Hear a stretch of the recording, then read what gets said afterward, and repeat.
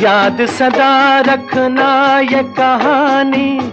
चाहे जीना, चाहे मरना, तुम भी किसी से प्यार करो तो प्यार गुलो बुलबुल सा करना। प्यार गुलो बुलबुल सा करना।